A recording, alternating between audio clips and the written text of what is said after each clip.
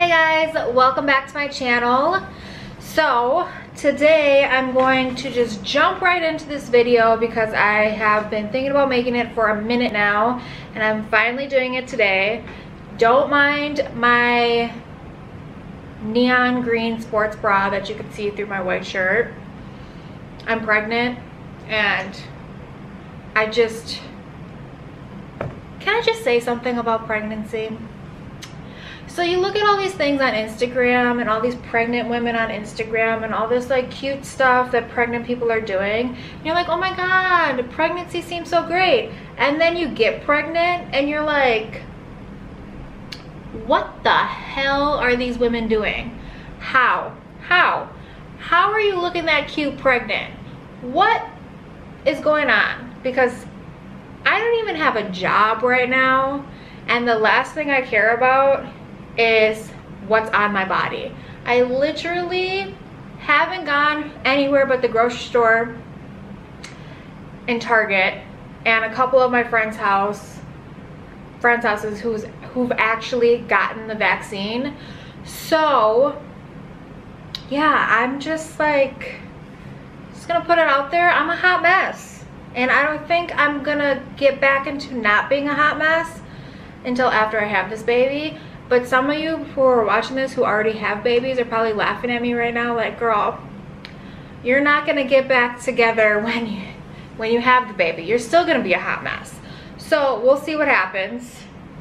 Make sure you subscribe so you uh, follow what happens to me after I have this baby. But anyways, today I got my little notebook with me so I don't forget anything. And I'm doing, obviously by the title, second trimester pregnancy symptoms. Now, these are going to be just my symptoms. I don't know what's happening to other people, but this is what has happened to me. So I'm gonna start off by like what happened first in the second trimester and like move down. Um, right now I'm at 23 weeks today and your second trimester goes to 26 weeks. So I'm almost at the end of my second trimester. And let me just say, it has flown by. It's crazy how fast this goes. It's like every week when I hit a new week, I'm just like, oh my God, it's another week. It's another week. So anyways, so it starts at 14 weeks, ends at 26 weeks. So I'm just gonna jump in. Symptom number one. So if you watched my first trimester symptoms video, you'll know I got really bad headaches. Second trimester, my headaches slowed down in the beginning of the second trimester till maybe like once a week. I was getting them like every night. So like once a week and now I barely ever get a headache, like ever. Unless, I think it's, when I do get a headache, I think it's actually the weather and not my pregnancy, but who knows. Um, my second trimester second symptom is I started to get more emotional. So I'm not normally an emotional person. I'm not a very big crier. I just, I'm just not. I'm not a sensitive person. But I have been losing my mind this second trimester. Losing it. Like losing it. I don't like it, but I'm losing it. Um, number three, my stomach finally started to look like a bump. So first trimester, I didn't look pregnant for a really long time. And then I just looked like I ate like a giant Thanksgiving dinner. And I didn't really look pregnant. I just looked like I ate a huge meal all day long. Like I just looked plump, like kind of like purity, like bloated looking, not pregnant. Second trimester, yes, I finally like look pregnant. Like if you saw me, you'd be like, oh my God, you look pregnant. Yes, finally, it came out of my body. Um, number four, my boobs stopped hurting as much. So the first trimester, my boobs hurt all the time. Now they like randomly hurt once in a while. And I think like maybe that day that they hurt, they're like growing still. I'm not sure, but they randomly hurt like once in a blue moon now. Not all the time. Like I can go like this, nothing's happening. It's good. Let me talk about my nipples though. My nipples have not stopped growing. growing. My nipples are like the size of flying saucers. I don't know if they're ever gonna go back to normal. Is anybody out there who already had a baby? Please tell me if your nipples go back to normal. I'm not sure. I'm praying to Jesus that they do.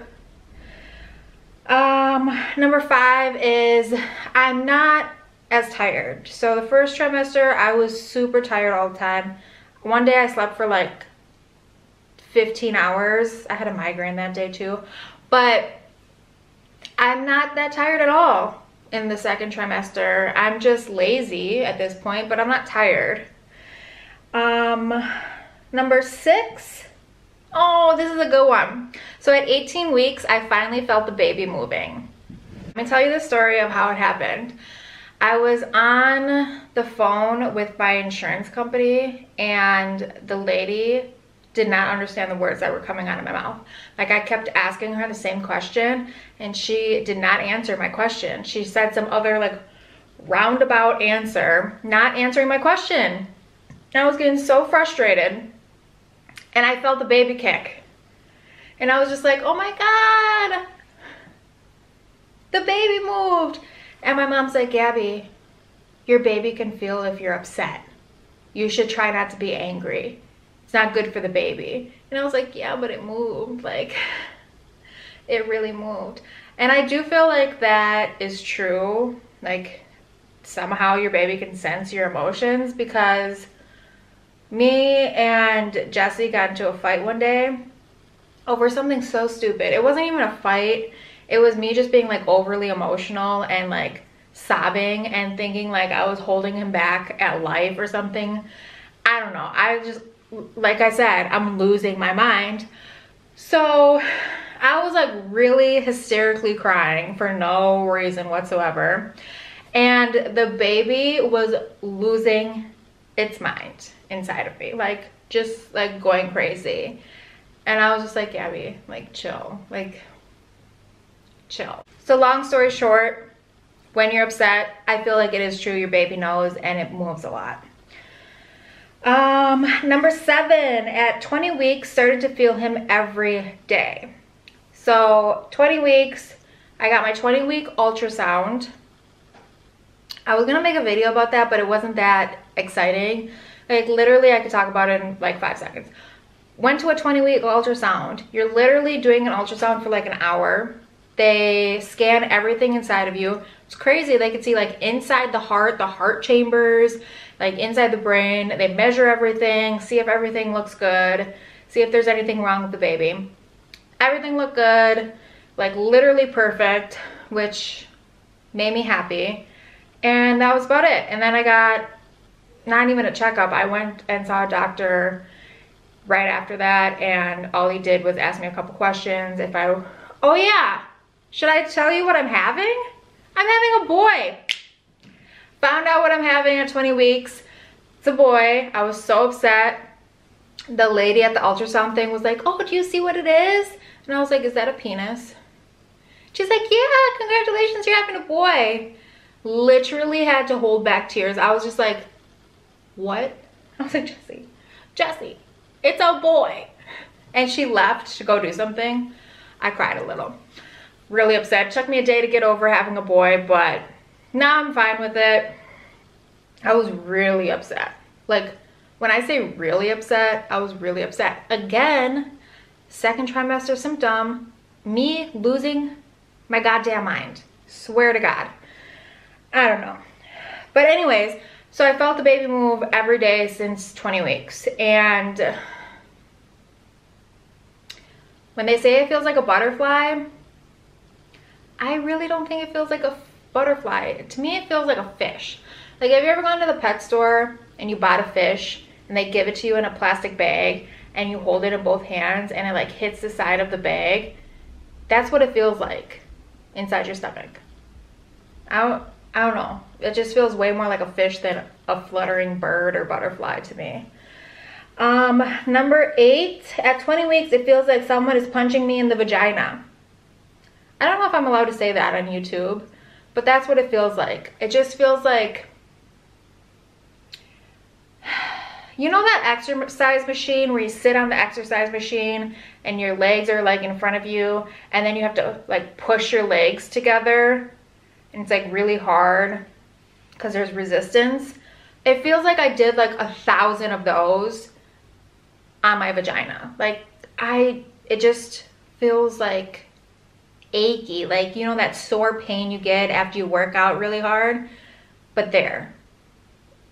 I don't know. They say it's because of the weight of your stomach and everything is like pushing down on there. So that's what that is. But it feels like that, not constantly, but like when I get off the couch, I can feel it just randomly. It's not like excruciating pain. It just feels sore. Um, number nine. I feel like my stomach is growing at a much faster rate now since 19 weeks. So, towards the end of your second trimester, you should be gaining like a pound a week. And I feel like every time I look in the mirror every day, my stomach looks bigger, which is crazy. Also, to kind of go along with that, I am at my weight that I'm supposed to be at when I have the baby and I'm at 23 weeks. So that's pretty scary. Um, I was trying to like keep my weight in check because everybody was like, don't gain too much weight, you're gonna regret it. And right now I've gained 20 pounds. According to the BMI, I was overweight when I got pregnant, only slightly by like five pounds was I overweight. But they said that I was only supposed to gain like 15 to 25 pounds because I was overweight. I'm at 20 pounds at 23 weeks. So if I have to gain a pound a week after this, I'm gonna be almost 200 pounds by the time this baby pops out. And I'm trying not to really worry about it anymore because I feel like I'm not really gaining any weight anywhere other than my stomach. Like my arms don't look like they're getting bigger. Like nothing else on my body looks like it's getting bigger except for my stomach and my boobs. So I'm gonna just try not to worry about it too much. But my, and plus my doctors haven't said anything about my weight gain. So my blood pressure's good. Every time I go to the doctor, my blood pressure is like really good. So I'm not gonna worry about it too much until somebody says something. Um, number 10, my cravings have changed. All I want to eat is pastries. I want to eat snacky cakes. I want to eat donuts. I want to eat candy bars. I want to eat all the sweets in the whole world and I'm not a sweet lover. I've never been a person who's been like really big on like sugar. Doesn't really do anything for me. I'd rather eat potato chips than candy any day of the week. But now I'm like making Jesse come with me to the grocery store in the middle of the night to go get freaking cake. I don't know what's going on with me, but I just really want cake. Also salt. I've been craving a lot of salt. I've been putting so much salt in my food that I think it's not good. So if you eat too much sweets and if you are craving a lot of salt, so they say it's like you might get preeclampsia. I do not want to get preeclampsia. That sounds like a horrible time. But I don't know what to do. Like, I just, all I want to eat is salt and sweet. Um, number 11, after 20 weeks, I did not feel comfortable sleeping anymore. So they say after, I think it's after like 15 weeks, you're not supposed to sleep on your back anymore because there's like this giant like I don't know, a blood vessel or an artery or something back there on your spine that could decrease the blood flow.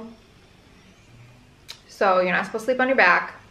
All right, I love sleeping on my back. I used to hate sleeping on my back, but then I perfected sleeping on my back because I felt like sleeping on your side made your face get wrinkly. I'm getting old, so I didn't want to have wrinkly face, so I like really started to sleep on my back. Now I can't sleep on my back anymore. Can't sleep on my stomach, obviously. And then, what side is it? When I sleep on my left side, I get heartburn. I don't know why. Every time I sleep on my left side, I get heartburn way more than when I sleep on my right side. But apparently sleeping on your left side is the best side to sleep on. So I wake up like probably five times a night to turn over to the other side. And then I pee a lot. So I'm, I never get like a completely full night's sleep anymore. It's just, I gave up on it. Um, number 12, it's hard to pick stuff up off the floor. I see stuff on the floor and I'm just like, I don't want to get it anymore. I'm, I'm over it. I don't want to pick that up. Like if I drop something, I'm like, Jesse, can you get that? Like I just, I don't want to bend that far down. I, my, so I have one knee that is kind of crunchy. And when I bend down, sometimes it hurts. And now that I have all this excess weight, it really hurts. So it's like I bend down to get something out of like a cabinet and it takes me a second to get back up because my knee feels like it's gonna break. That's probably just a me symptom because not everybody has crunchy knees out there, but yeah. Um, number 13. Oh, I can't see it anymore. When I shave, it's like I'm, I'm just like shaven blind now because I can't see anything past my stomach anymore and what are you gonna do? I mean, it's, it's just not visible. So like, I think I'm gonna get a mirror, try to shave that way, but I don't know. Is it weird that I like to shave before I go to the gynecologist? Like, I don't wanna scare my gynecologist, even though I probably won't because they see vaginas every day, but I just, I don't know. I just don't like to look like a freaking cave woman going to, you know, the doctor's office. Just clean it up a little. I don't know. I don't know what I'm doing anymore with that area to begin with. Um, number 14, since 19 weeks, started to get constipated. This is a real fun one. So I think I'm low-key lactose intolerant and I've been eating a lot of dairy this pregnancy and I had diarrhea a lot, like every day. And now it's the opposite. It's like stuck in me. Part of me feels like I just gained so much weight because I have a whole bunch of food or like poop backed up in me because it's not coming out of me. So that sucked. I was constipated for like a week and then I was like chugging water, eating beans, anything with fiber, and then chugging the water. Water is key. They say 14 glasses of water a day. I probably drink like a gallon of water a day now because it just, you know, helps to get things out of you. So if you're constipated, chug, chug, chug, chug, eat some beans. Um, number 15 is a really good one. So my first trimester, I started breaking out like a psychopath, like just full on breaking out. My chest was breaking out, my back was breaking, like everything on my body was breaking out since like 19 weeks, my skin has started to get way better. I still have a few bumps here and there, but nothing too crazy. Um, apparently after a certain amount of time, your baby starts producing its own hormone. So it kind of takes the load off of you. So that helps. Um, number 16, starting to feel overwhelmed that there's only four months left. And this is a real one. I have been probably in the last like two weeks super overwhelmed like dang i only have four months left. This baby's gonna be here in four months. Four months goes by like that. That's not that long. Um so yeah i don't know. That's that's really not that long Number 17, 22 weeks, I can see my stomach moving. So I'm at 23 weeks now. About in the past week, sometimes when I look down at my stomach, I could actually see it move a little bit, like in one spot, which is really cool because I'm excited. And Jesse can feel it now. Before I could only feel it on the inside, but now he could feel it on the outside too. And it's so weird because sometimes like I'll be holding my own stomach and I can feel it on the outside, but I can't feel it on the inside. So yeah, I mean, it's pretty cool because now in the past week, I've actually felt it like crazy way more than the past two weeks. So it's always nice to feel it because you're like, I don't know if everybody else is like that, but I have so much anxiety around this pregnancy and somehow this baby dying that I am happy I could feel it all the time because if I couldn't, I think I would even have more anxiety that like something's wrong. You know, I need to like go meditate in a corner. I've had the worst anxiety ever. Like, how do you love something so much and you don't even know it? Like, it's like inside you. You don't know who this person is. You don't know anything about this baby. And yet you're like obsessed with it to the point where it's like, you don't want anything bad to happen and you're like making yourself crazy thinking like did i take let me tell you some things one day i googled for like an hour because i was like oh my god i took a really hot shower i wonder if the baby's okay like i'm driving myself nuts like literally nuts. I'm driving myself nuts. The past couple days i've really tried to be like breathe everything's fine. Don't be crazy. Everything is fine. It's hard though. Um number 18 this is the last one. The line down my stomach is forming. So you ever see like a pregnant person's stomach and they have that like dark line down the middle of it i'm starting to get that i don't want it my belly button hasn't popped out yet maybe by the end of this second trimester it will, but it hasn't yet. And I don't want the line. Apparently the line goes away after you have a baby. Like after three months or so, it should be gone. But I just, I don't want it. I really don't want it. But, so hands down, the second trimester, for the most part, has been much more enjoyable than the first trimester. I read that that was true, but I was like, let me see for myself. And so far it's true. Apparently it's supposed to get real crappy in the third trimester again, but we'll see what happens. I'm just excited. So I live in Wisconsin. It's cold as balls here. And it's getting warmer out. It's like in the 50s this week. So I'm excited for spring because like I said, I don't care what I wear. I haven't bought any maternity clothes and my shirts don't fit me anymore. My stomach hangs out the bottom of them and I just really, like I see jeans, like pregnancy jeans and I can't do it. Like the thought of putting jeans on just makes me like, ugh. Like they're so stiff and like gross and uncomfortable. I don't want to put jeans on.